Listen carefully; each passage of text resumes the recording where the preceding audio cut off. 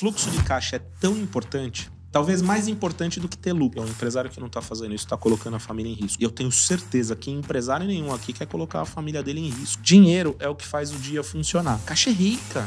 Fluxo de caixa. Hoje a gente vai falar do terror das empresas. Né, Rogério? Nossa, fala. Rogério deu um suspiro aqui que melhor começar, gente. Vamos lá, Rogério. Eu sou a Roberta Antler. E eu sou o Rogério Valentim. E esse é o Conversa de CEO. Roda a vinheta. Vamos? Pô, vamos falar de um assunto que é maravilhoso. Se não existisse, mas já que ele existe, já É. que a gente precisa viver com ele, vamos falar de fluxo de caixa hoje no Conversa de CEO? Olha, não sei se todo mundo já ouviu falar disso, Roberta, mas fluxo de caixa é tão importante, talvez mais importante do que ter lucro. É verdade. Tudo é importante, mas eu já vi empresa sobreviver tendo prejuízo porque o fluxo de caixa era muito bom, muito bem controlado Funciona, né? e É. funcionou. Uhum. E eu já vi empresa super lucrativa quebrar porque perdeu mão na hora de controle do fluxo de caixa. Aí o caixa acaba e você perde a capacidade Exatamente. de fazer os investimentos, os pagamentos que a empresa tem que fazer para se manter O viva. controle, né? Exatamente. Então, Rô, primeira coisa, o que, que afinal é o fluxo de caixa? É o controle, é, é como a maioria das empresas são administradas, mas as pessoas é, não entendem. Em geral, a gente olha para o mercado das empresas brasileiras e a, e a maioria das empresas são empresas familiares que começaram com o patriarca é, e não tem muito conhecimento, muita profundidade. Então, em geral, as pessoas não controlam as finanças do jeito correto. Uhum. Que na minha cabeça aqui, ó, de forma simples aqui para explicar, é o DRE e o DFC. Então, demonstrativo de resultado do exercício e demonstração do fluxo de caixa. O, o DRE é para a parte contábil. O DFC é para a parte do dinheiro. Contábil é o que é burocracia. Dinheiro é o que faz o dia funcionar. Qual é mais importante? Não tem o mais importante. Os dois em conjuntos formam o, o que faz dar certo. Mas quando a gente fala de caixa, caixa é rica.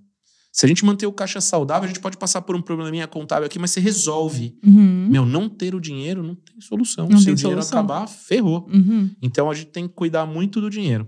E a melhor técnica que eu posso. Ó, que dica essa de ouro. Melhor Pega técnica para controle de fluxo de caixa chama-se disciplina. E controle. O que tu quer dizer com disciplina e controle? Disciplina tem que fazer todo dia, Uhum. tem que prestar bastante cuidado ao olhar os dados, analisar os dados e tomar as decisões baseada nos dados. Isso é disciplina. E todo dia. Uhum. Todo dia. Qual é a O que frase que você tu fala, combinou. aquela que eu amo? É. Que siga o plano, não se distraia? É. Eu amo quando o Rogério fala isso. Fa- Cria um plano, siga o plano e não se distraia. Uhum. Isso é fluxo de caixa. Uhum. Cria o fluxo, segue o fluxo, não se distraia. E não use subterfúgios, que isso é bem importante. De né, jeito nenhum. gente? Do tipo, cara, você tá aí na sua loja vendendo um negócio, o cara chega e fala, ah, faz em 10 vezes? Ah, faço. Uhum. Esse ah, faço, você não sabia se podia ou não, não está contemplado se o teu fluxo de caixa permite você receber parcelado, você não tem um acordo com o banco para receber parcelado e repassar o, o parcelado para o banco, receber à vista com o desconto que o banco vai fazer no cartão. Uhum. Então, Ou o teu preço não está ajustado para esse parcelamento. Tua é. precificação não está, não, não tá do jeito que tem que ser. Então, controle é todo dia. O processo de fazer o controle do fluxo de caixa é todo dia. Sabe como que eu já ajudei al- al- alguns comandantes eh, no início? Falar, "Pô, vamos fazer fluxo de caixa. Aí eu vou olhar, eh, o comandante faz pagamento todo dia. Hum, E aí você controla o fluxo de caixa dele, separando os pagamentos dele para três vezes por semana. E depois duas vezes por semana, para depois chegar em uma vez por semana. Aí a pessoa sempre fala assim: não, mas eu tenho que pagar todo dia. Tem?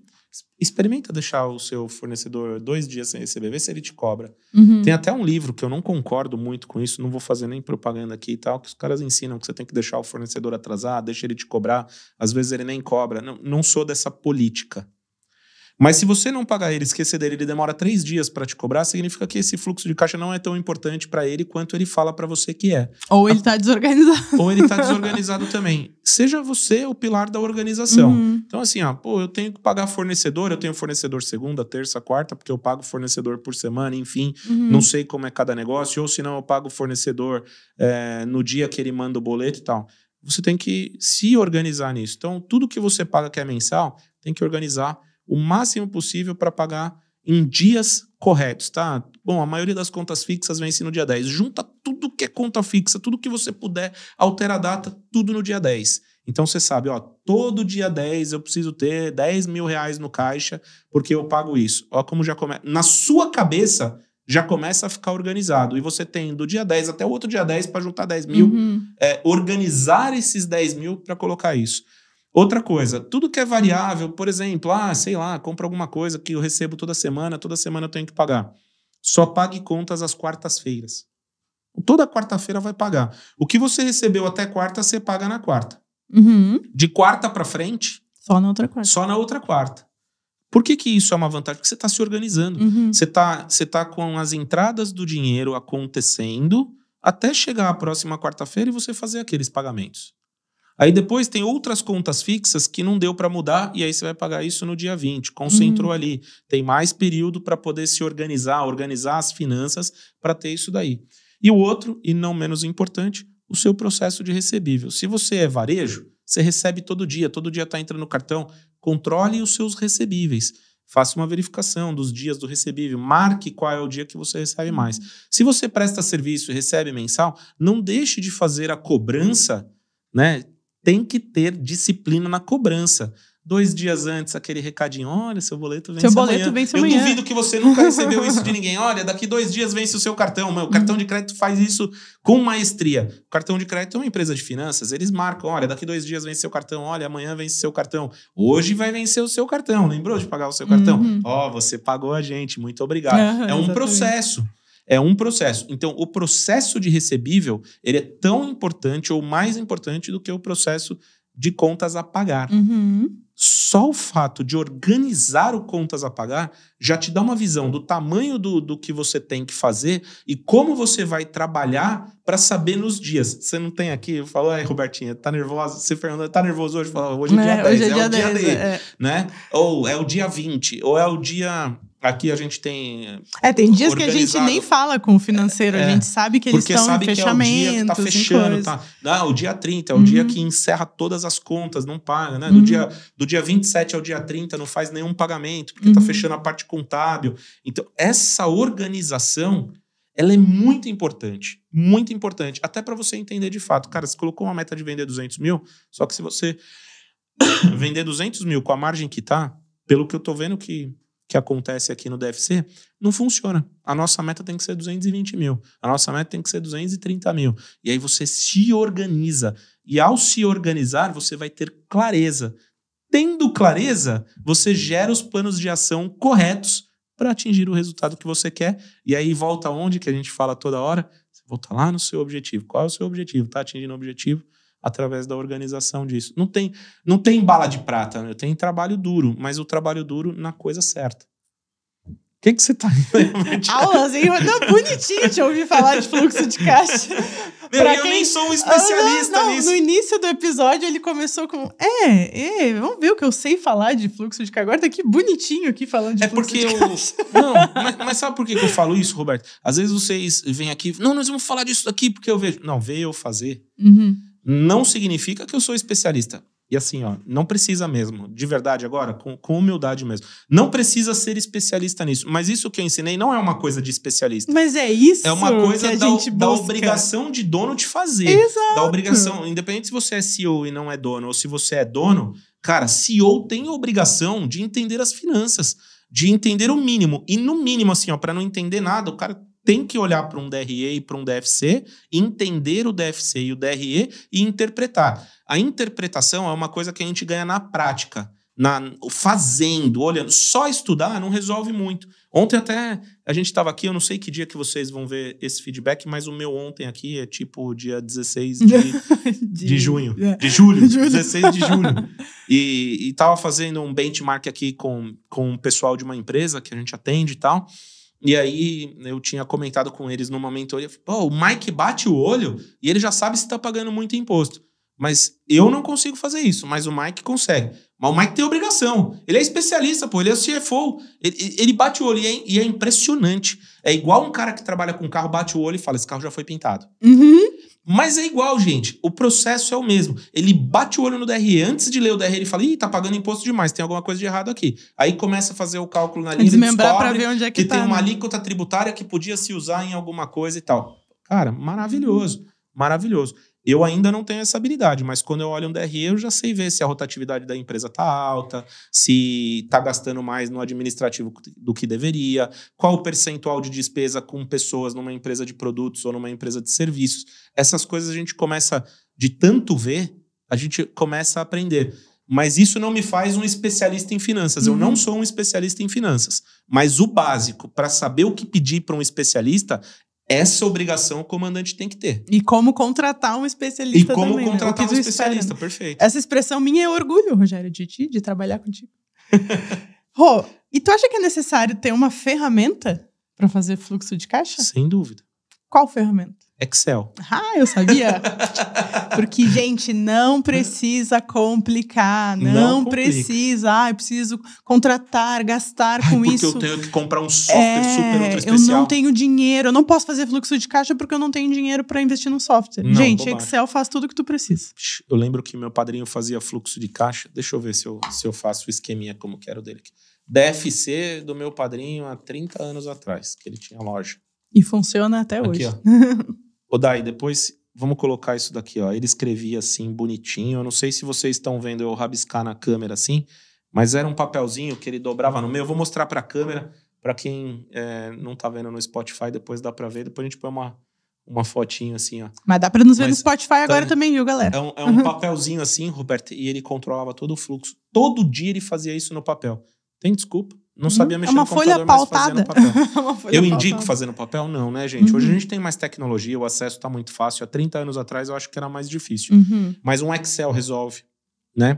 E eu não vou, é, eu não vou ser leviano nem mentiroso. Nós temos um baita software aqui. Uhum. Não vou ficar fazendo propaganda do software, mas nós temos um software bem robusto. Nós temos um tamanho que permite a gente ter esse software. Nós temos as pessoas certas operando esse software para nos ajudar. Com o software fica melhor. Depois que você sabe, opa, fica maravilhoso, porque você tem um controle todo dia e tal. Mas se eu não tiver e eu usar o Excel, funciona? Com certeza. O que não dá é para fazer nada. É, exatamente. E se não souber mexer no Excel também, às vezes o negócio é pequeno. Gente que mexe Fa- no Excel é bem fácil de arrumar. Exatamente. Mas começa na, comecem. Começa na mão, começa no caderninho, mas comecem. Tenham os seus registros. Né, Entradas e saídas Entradas de dinheiro, saídas. pelas datas, que tipo de conta. Rogério? Uhum. Não, Não, essa dica segredo. que tu já deu no início de se organizar três vezes ali no mês para fazer os pagamentos e tal, é, isso isso é, é genial. Ó, vou falar aqui. A pessoa tinha um saldo negativo de 100 mil reais. Só de organizar as datas, esse saldo negativo caiu para 6 mil. Só de organizar. Só que quando a gente organizou, a gente enxergou o problema. Uhum. Aí a gente tratou o problema. E aí fez o que tinha para fazer e agora isso está funcionando. E a pessoa dorme mais tranquila, sabendo É. que ela deve 6 mil e não 100 mil, né, É. Rogério? E sabendo que ela pode fazer uma dívida saudável. Empresas têm dívidas, Tem dívidas, saudáveis. E é, e, é, e é normal. Empresas pegam dinheiro emprestado para fazer negócio, para investir no negócio. Isso é normal.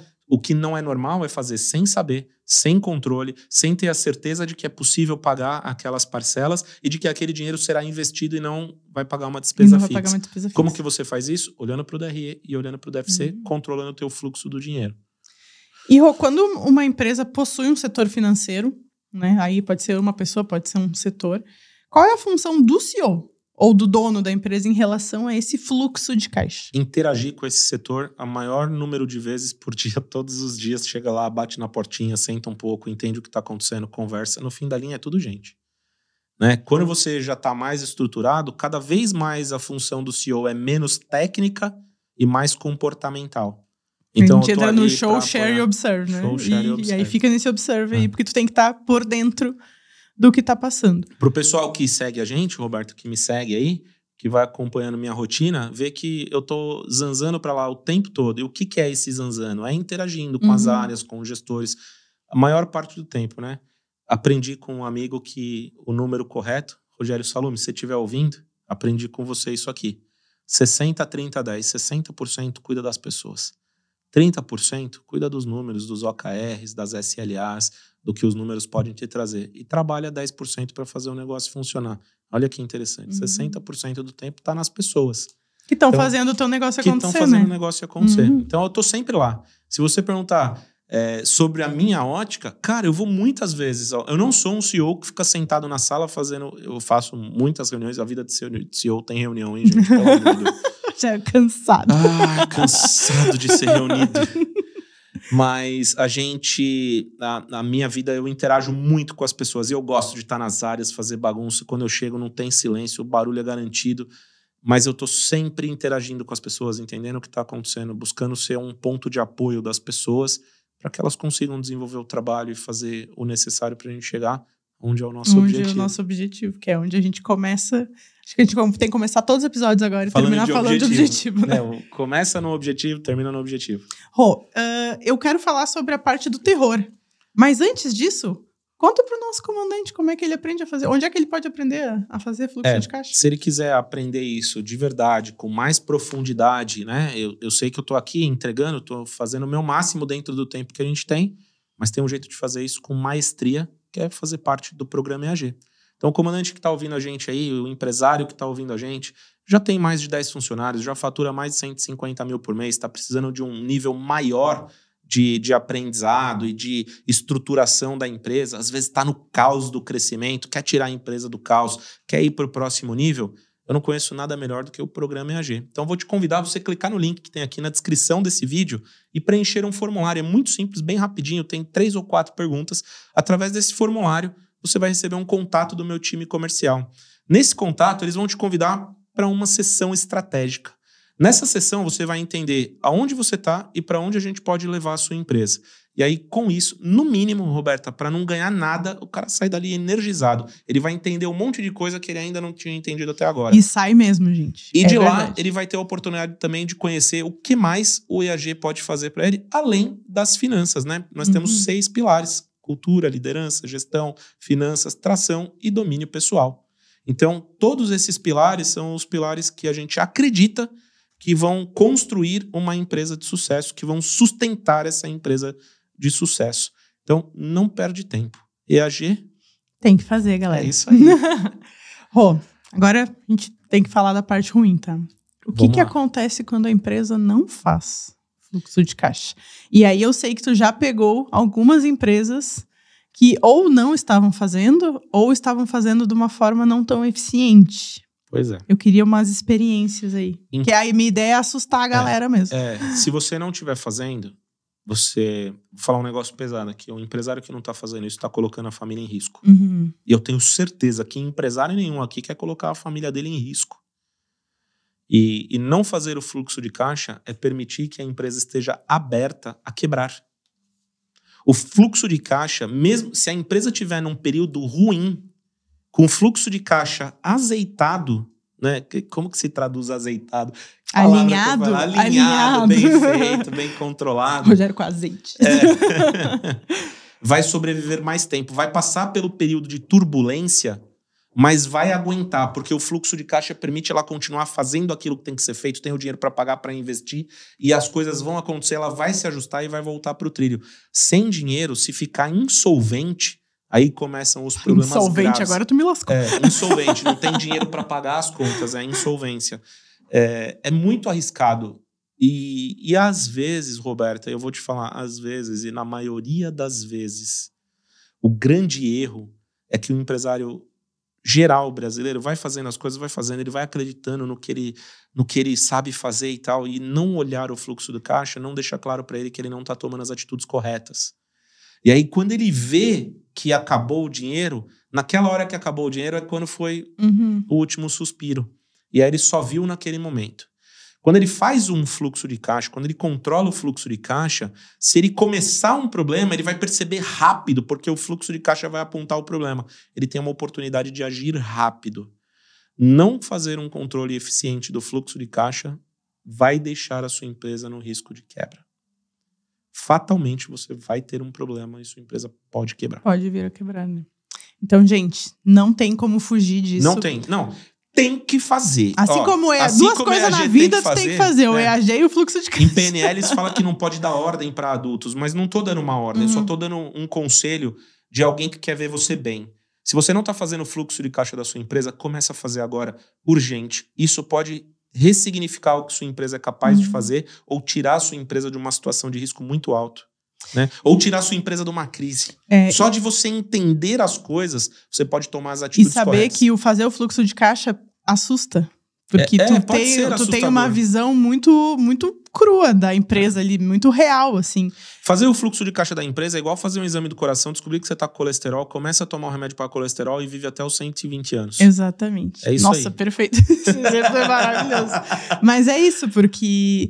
É que tem gente que prefere não fazer o exame para não descobrir que tá doente. mas, né? gente, não, não dá pra fazer assim, porque pelo menos tu tem a chance de reverter a situação, né? Quando tu não faz o exame, tu não tem a chance, tu não teve Isso nem chance, né? Então, gente, façam seus, o seu fluxo de caixa, façam o EAG, né? Porque é muito importante também. E se você gostou desse episódio, curte, comenta e compartilha. Aí, Aprendi ó. com a Dai, agora não esquece Agora mais. não esquece mais. Curte, comenta, compartilha.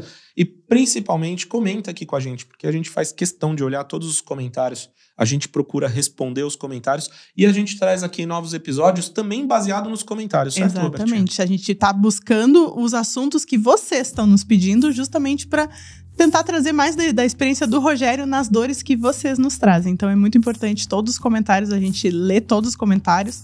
Quer falar com a gente também? Vai lá no Instagram, arroba Rogério Valentim EAG, arroba Roantler, a gente responde todo mundo, a gente conversa. Se vocês deixam o nome, a gente até comenta de vocês aqui no episódio, né? É isso aí. Então tá, gente. Por isso é hoje, a gente se despede. Rogério, muito obrigada. Valeu, E gente. até a próxima. Valeu. Tchau, tchau. Até a próxima.